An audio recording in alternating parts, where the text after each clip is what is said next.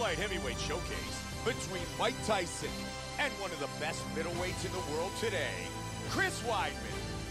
Mike Tyson, Chris Weidman. And here